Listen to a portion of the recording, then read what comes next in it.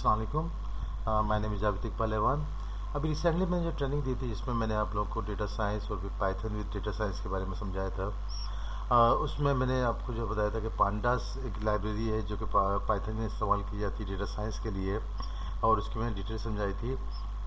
और मैंने आपको बताया था कि उसमें हमारे पास तीन तरह के डेटा स्ट्रक्चर्स मिलते हैं पांडास की लाइब्रेरी ज़रिए से। हम तीन डेटा स्ट्रक्चर्स है जो जिन पर हम पांडास पे काम कर सकते हैं जिसमें सीरीज़ है डेटा फ्रेम्स है और पैनल है। हम आज की ट्रेनिंग में मैं आपको सीरीज़ के बारे में बताऊँगा कि पाइथन के अंदर जो है वो सीरीज़ पांडास की लाइब्रेरी यूज़ करते हुए अगर हम सीरीज़ सीरीज़ डेटा स्ट्रक्चर को यूज़ करना चाहते हैं तो किस तरह यूज़ करते हैं, उसका हम प्रैक्टिकली इम्प्लीमेंट करेंगे।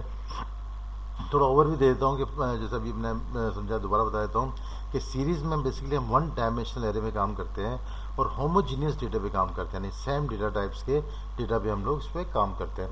तो इसका प्रैक्टिकल मैं स्टार्ट करता हूँ ऑप्शन है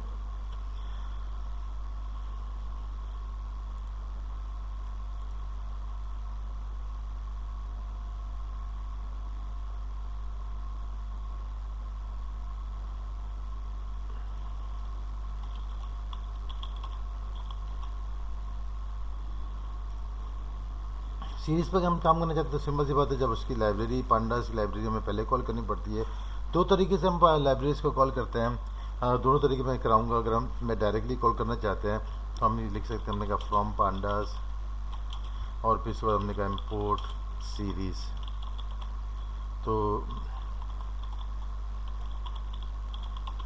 ये भी एक तरीका है हमें सीरीज़ के पांडास की लाइब्रेरी तरीके से सीरीज़ को हमें कॉल करने का। और इसके बाद हमने जैसे कोई भी वेरिएबल ले लिया, जैसे फॉर एग्ज़ाम्पल मैं डी के नाम से वेरिएबल ले लिया तो हम यहाँ पे सीरीज़ का मेथड को यूज़ करेंगे और इस मेथड के आर्गूमेंट पे आके हम स्ट्रक्चर डेटा बनाएँगे। और जैसे मैंने कोई भी डेटा दे दिया, हमने कहा जावेद।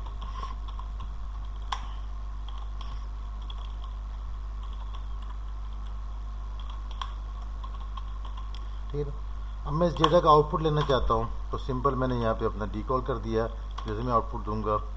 मेरे पास जो है वो उसका आउटपुट हमें मिल जाएगा।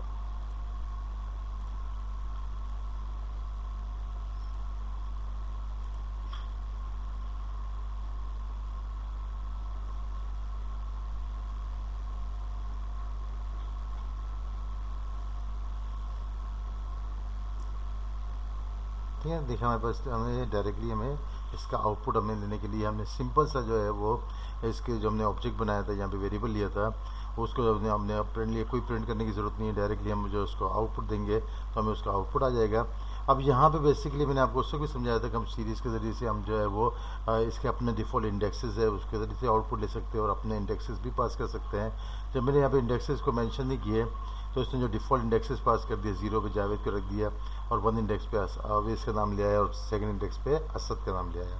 इस तरीके से अगर मैं इसके अंदर काम करना चाहता हूँ और मैं चाहता हूँ कि फॉर एग्ज़ाम्पल मैं इसमें जावेद का आउटपुट लेना चाहता हूँ, या अवेज का, या असद का लेना चाहता हूँ तो हम डायरेक्टली जो है वो उसका इंडेक्स भी पास कर सकते हैं। अब जैसे मैं यहाँ पे इंडेक्स देने के लिए मैंने कहा, मुझे वन का इंडेक्स का आउटपुट दे दो तो हमारे पास जो अवेज है, उसका नाम का आउटपुट ले आएगा। इसी तरीके से अगर मैं यहाँ पे जो है सेकंड रखूँगा तो असद का नाम आ जाएगा। अगर मैं ज़ीरो रखूँगा तो जावेद का नाम आ जाएगा। सॉरी ज़ीरो रखेंगे तो हमारे पास जावेद का नाम आ जाएगा। तो इस तरह हम इंडेक्सेस के ज़रिए से भी आउटपुट दे सकते हैं।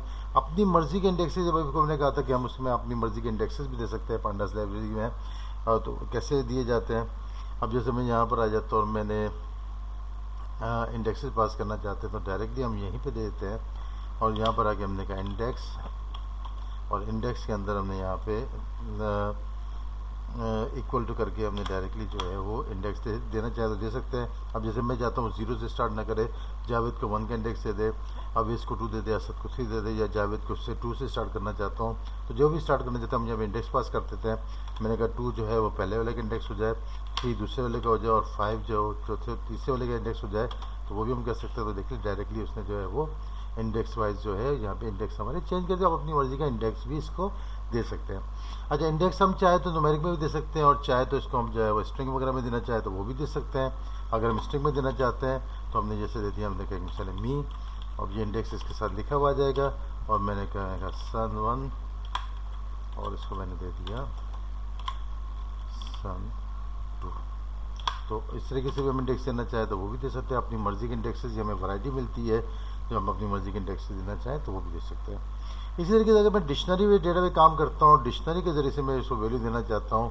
जो नॉर्मली हम जो है वो डेटा फ्रेम वगैरह में यूज़ करते हैं, लेकिन यहाँ पर भी अगर मैं देना चाहूँ तो वो भी दे सकते हैं। लेकिन चूँकि डिक्शनरी के ज़रिए से मैं दूँगा और फिर उसको कन्वर्ट करेंगे सीरीज़ के अंदर, क्योंकि ये single dimension one dimension array पे काम करता है तो जब मैं इस पर काम करूँगा तो लाजमी टू डायमेंशन एरे पे काम नहीं कर सकता, उसके लिए मैं डेटा फ्रेम को यूज़ करना पड़ता है। लेकिन अगर आपके पास डेटा आपके पास डिक्शनरी की फॉर्म में मौजूद है तो वो उसको भी हम सीरीज़ में यूज़ कर सकते हैं। जैसे मैं यहाँ पे आके कोई भी वेरिएबल ले लिया जैसे मैंने यहाँ पे दे दिया। डी वन दे देता हूँ। और इसको मैं यहाँ पे आके वैल्यू देने के लिए हमने यहाँ पे कलरी ब्रैकेट यूज़ किया। और कोई भी वैल्यू पास कर दी, जैसे मैंने कई मिसाल है जावेद। और इसके साथ मैंने कॉलन लगा के, यानी कीज़ और वैल्यूज़ वाला कम्बिनेशन दे रहा हूँ मैं। जैसे हम डेटा साइंस में डिक्शनरी में यूज़ करते हैं। तो वही मैं काम कर रहा हूँ, उसको मैंने करे ऑवेज और यहाँ पे उसकी वैल्यू मैंने पास कर दी।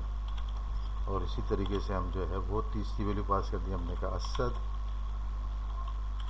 और इसको हमने यहाँ पे वैल्यू पास कर दी ट्वेंटी वन।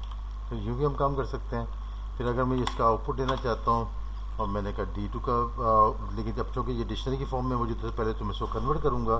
कन्वर्ट करने के लिए हम इसको क्या करेंगे तो मैंने जैसे डी वन एस कर देता हूँ एक वेरिएबल ले लिया और सीरीज़ का मेथड यूज़ किया और सीरीज़ के मेथड यूज़ करते हुए इसके आर्गूमेंट मैंने डी वन पास कर दिया। तो इसका मतलब डी वन से जो है वो कन्वर्ट करेगा डी वन एस सीरीज़ के अंदर करेगा, और कन्वर्ट करने के बाद डी वन एस के पास कर देगा। अब मैं सिंपल डी वन एस के प्रिंट ले लेता हूँ तो मेरे पास जो आउटपुट आएगा हमारे पास ऐसे आएगा जब सीरीज़ कर रहा है, लेकिन बेसिकली डेटा हमारे पास जो है वो की और फ्रेम में था, उसके लिए हमने डिक्शनरी को यूज़ किया। डिक्शनरी के ज़रिए से हमने की और वैल्यूज़ के अगेंस्ट में वैल्यू पास कर दी जिसे हम डेटा फ्रेम में भी इससे काम करते हैं। तो हमने इसको वैल्यू असाइन कर दी तो जहाँ पे कीज़ और वैल्यूज़ आ गई। अब मैं इसका आउटपुट लेना चाहता हूँ तो इसने क्या किया? कीज़ को उसने जो है वन साइड पे एज ए इंडेक्स पास कर दिया, और वैल्यूज़ को उसने यहाँ पे एज ए वैल्यू असाइन कर दिया। लेकिन चूँकि हम सीरीज़ में काम करते तो यहाँ पे हम जो है वो आ, हमें जो है वो ह्यूमोजीनियस डेटा चाहिए होता है सेम डेटा टाइप से चाहिए होता है तो इसकी हमें वैरायटी हमें डायरेक्ट हम इसको वैल्यू नहीं दे सकते। तो ये चूँकि ये हमने जो किया वो डिक्शनरी के थ्रू किया तो पहले हमें इसको कन्वर्ट करना पड़ेगा सीरीज़ के अंदर। सीरीज़ में कन्वर्ट करने के लिए मैंने एक और वेरिएबल लिया और सीरीज़ का मेथड देने के बाद इस वेरिएबल को जो डिक्शनरी का वेरिएबल था वो यहाँ साइन कर दिया। तो ये सीरीज़ में कन्वर्ट होकर डी वन एस में आ गया। उसके बाद हम डी वन एस का प्रिंट लेते हैं। फिर इसी तरीके से अगर मैं डी वन एस का प्रिंट लेता हूँ और उसके अंदर मैं कोई इंडेक्स भी देना चाहता हूँ तो वो भी दे सकते हैं। हमने कहा डी वन एस और यहाँ मैंने इंडेक्स पास कर देता तो कोई भी कीज़ लगा दी। जैसे मैंने यहाँ पे कीज़ लगा दी अवेस की तो अवेस की जो कीज़ की वैल्यू है वो मेरे पास आ जाएगी। इसी तरीके से हम जिसकी भी कीज़ देना चाहते हैं, हमने कहा डी वन एस और इसमें मैं अगर यहाँ पे वैल्यू देना चाहता हूँ और मैंने की पास कर दी, हमने कहा जावेद। तो जावेद की जो वैल्यू है वो हमारे पास आ जाएगी। सॉरी डी वन एस तो हमें जावेद की जो वैल्यू है वो असाइन हो जाएगी हमारे पास। तो ये भी एक तरीका है हमारे पास जो है वो डिक्शनरी अगर मैं, अगर फॉर्म में मौजूद है तो फिर हम उसको कन्वर्ट कर देते हैं सीरीज़ के अंदर और सीरीज़ में कन्वर्ट करते हैं तो बाद में सीरीज़ से जो मेथड्स है सीरीज़ से जो काम करने के तरीके का हम इसको इम्प्लीमेंट कर सकते हैं। दूसरा तरीका जो नॉर्मली इस्तेमाल होता है, ज़्यादातर इस्तेमाल होता है वो होता है इम्पोर्ट का मेथड उसको अगर यूज़ करना चाहते हैं तो वो भी यूज़ कर सकते हैं। हमने कहा इम्पोर्ट पांडास और फिर हमने कहा एस पी डी कोई भी इसका ऑब्जेक्ट पास कर दिया। पंडास की लाइब्रेरी कॉल होगी और पीडी जो है उसको रेफ़र करेगा, उस लाइब्रेरी को हमने पीडी का उसको नाम पास कर दिया। अब इसके बाद इस तरह से काम करना चाहते तो हमने एक वेरिएबल लिया। अब मैं क्या करूँगा? P D dot series, P D के ज़रिए मैं सीरीज़ को कॉल करूँगा और इसके बाद पे स्क्वायर ब्रैकेट में आके हम कोई भी वैल्यू देना चाहें तो दे सकते हैं, जैसे हम नॉर्मली हमने किया। वैसे कर लेते हैं, हमने कहीं मिसल three comma four, comma five, तीन मैंने वैल्यू साइन कर दिए। और उसको यहीं पे अगर यहीं पे प्रिंट लेना चाहे तो यहाँ प्रिंट ले लेंगे। अगर इसको अपनी मर्ज़ी का इंडेक्स देना चाहते हैं तो इंडेक्स भी दे सकते हैं। दोनों तरीके अलग अलग करें या मैं एक साथ ही कर लेता हूँ टाइम बचाने के लिए। तो आप इससे यूँ कर सकते हैं, अपने का इंडेक्स और इंडेक्स इक्वल टू यहाँ पर हमने स्क्वायर ब्रैकेट में इंडेक्स पास कर दिया। और मैंने अभी आपको कहा था कि हम स्ट्रिंग में भी दे सकते हैं। अब जैसे मैं इसको दे देता हूँ एक्स वाई जेड तो मैं इसको नाम देता हूँ एक्स का। तो ये पहला इंडेक्स हो जाएगा, फिर इसके बाद दूसरा इंडेक्स को वाई का दे देता हूँ नाम। और फिर तीसरे इंडेक्स को मैं जेड दे देता हूँ। तो अब जब मैं यहाँ पे आके प्रिंट लूँगा इसका, हमने सिंपल जो है वो एस का प्रिंट ले लिया। जब हम आएगा तो लेकिन अब चूँकि हम यहाँ पे इस तरह काम कर रहे हैं तो फिर हम क्या करेंगे? प्रिंट करेंगे। और हमने कहा एस अब यहाँ पे मैं आपको देखिए वैरायटी भी साथ चलाता हूँ। वैरायटी ये है कि जैसे फॉर एग्जांपल अब मुझे यहाँ पे, मैं चाहता हूँ शुरू के दो वैल्यू का मुझे प्रिंट आ जाए। तो फिर हम ये क्या करेंगे? हमने एस दिया। अच्छा नॉर्मली अगर हम देना चाहें तो नॉर्मली प्रिंट हो जाएगा। हम प्रिंट एस कर देंगे तो मैं नॉर्मली एस का प्रिंट हो जाएगा ना। वो तो एक तरीका है हमारे पास। और अगर मैं यहाँ पे इंडेक्स देना चाहता हूँ तो फिर मैं कहता हूँ, शुरू के दो करेक्टर आ जाए तो हम कॉलन यूज़ करेंगे और टू लिखेंगे। अब जब मैं इसका आउटपुट लूँगा तो मेरे पास देखिए शुरू के दो, यानी थ्री और फोर का प्रिंट आ गया हमारे पास। ठीक है जी? इसी तरीके से हमने कहा प्रिंट कर दो।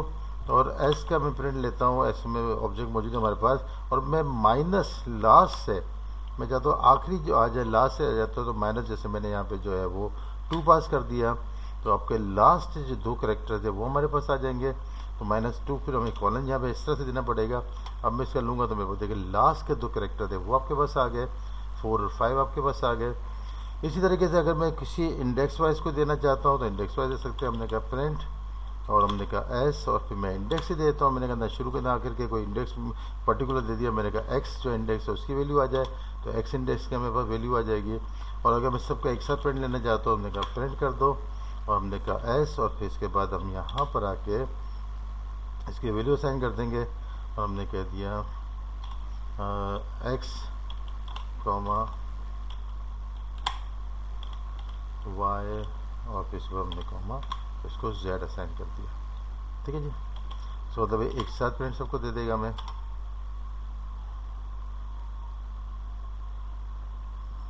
अच्छा सॉरी यहाँ कॉलम बन हुआ।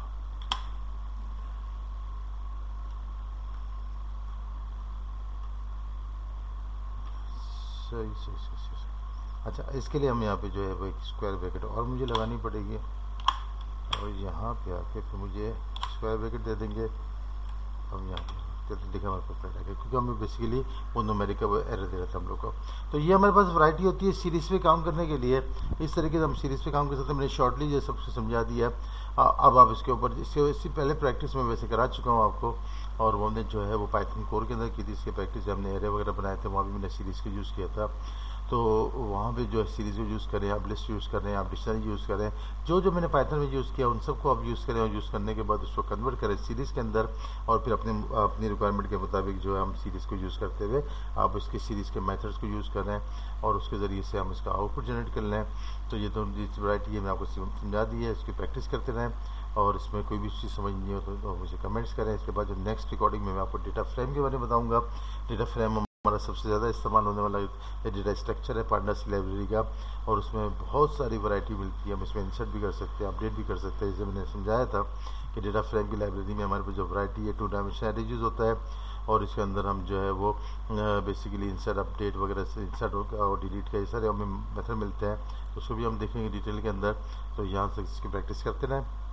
और अपना जो है वो स्पेशली जो हमने पाइथन कोर में पढ़ा था, उसको यहाँ पे इम्प्लीमेंट करें और साथ में इसको कन्वर्ट करें सीरीज़ के अंदर।